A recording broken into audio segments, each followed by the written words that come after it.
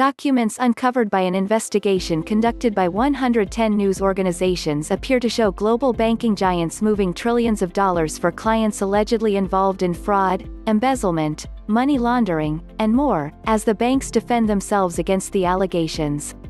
Meanwhile, the crypto community appears to be divided as to whether it spells good news for crypto in general, and Bitcoin BTC, in particular. Updated at 1432 Coordinated Universal Time, updates in bold. The evidence was uncovered by the International Consortium of Investigative Journalists, ICIJ, in a new report. The consortium said that it, together with BuzzFeed News and 108 other media organization, conducted a 16-month, cross-border investigation, and revealed the leaked documents, now known as the FinCEN files. The consortium wrote that, secret United States government documents reveal, that global banks have defied money laundering crackdowns by moving staggering sums of illicit cash for shadowy characters and criminal networks.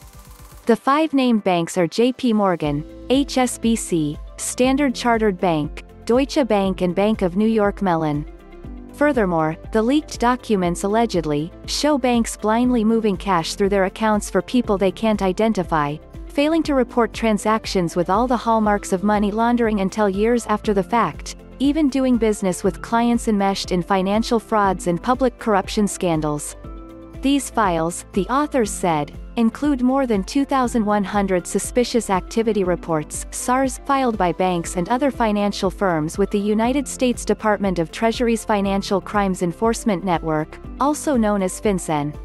ICIJ added that United States agencies responsible for enforcing money laundering laws rarely prosecute megabanks that break the law, and the actions authorities do take barely ripple the flood of plundered money that washes through the international financial system. Per the authors, the data shows that Deutsche Bank is leading by some distance, with JP Morgan in second place. Mobsters pushed billions through Deutsche Bank in one of the biggest dirty money scams ever, tweeted BuzzFeed News, adding that, small businesses were crushed, in the process. The news outlet further claimed that the bank's executives had direct knowledge for years of serious failings that left the bank vulnerable to money launderers. After a 10 billion United States dollars mirror trading scandal was exposed, Deutsche Bank blamed it on a few middle-level staffers in its Moscow office, paid a fine, and got back to business, reported BuzzFeed News.